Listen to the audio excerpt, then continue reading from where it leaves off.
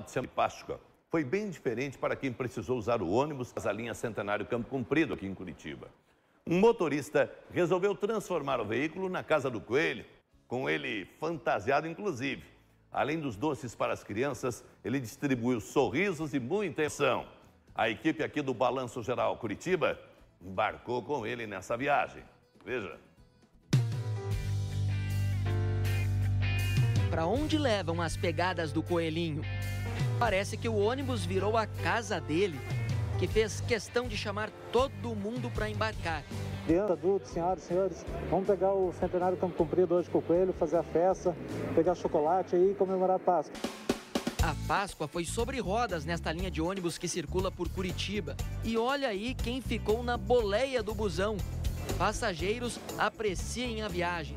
E aproveitem que esse coelhinho é bem generoso. O que, que você achou de encontrar o, o coelhinho hoje e ganhar chocolate no ônibus? Foi muito legal.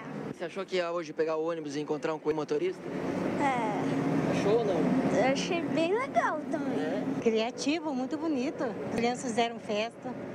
Muito lindo mesmo. lindo para das crianças e o povo participar. Mesmo quem não embarcou recebeu o carinho desse coelho da Páscoa de dentro do ônibus mesmo. Deu tempo até de ir levar um chocolate para casa.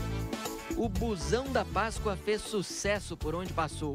O motorista por trás desse coelho, que teve toda a ideia e organizou tudo com a ajuda da família, sentiu que a missão foi cumprida nessa Páscoa. Meu coração, desde as 5 da manhã na empresa fazendo. E gosto, fazer o bem faz bem, né? Todos que entram no ônibus ficam contentes, felizes, porque no dia a dia sempre tem os estresses, o aperto, trabalho, assim, dá uma descontraída, né? Entregando chocolates também para a criançada aqui. Foi muito emocionante. Nossa, não esperava essa atitude, né, do motorista em relação a ele se lembrar em, em passar um pouquinho dessa emoção para todos, né? É muito emocionante mesmo, muito gratificante tudo isso, esse trabalho maravilhoso que ele teve para enfeitar o ônibus e, e- ter esse apoio da família, né? Isso é maravilhoso. É, é isso mesmo que Deus quer da gente, né? Levar felicidade para o próximo. Que ninguém esqueça do verdadeiro significado da Páscoa, que não é só comércio. Lembrar da crucificação que Jesus morreu por nós. E que é o verdadeiro sentido mesmo da Páscoa. Que hoje em dia muitas pessoas esquecem que Jesus existe na face da terra, porque o mundo está precisando muito de Deus. Ah, As coisas estão acontecendo realmente por falta de Deus nessa, nesse mundo.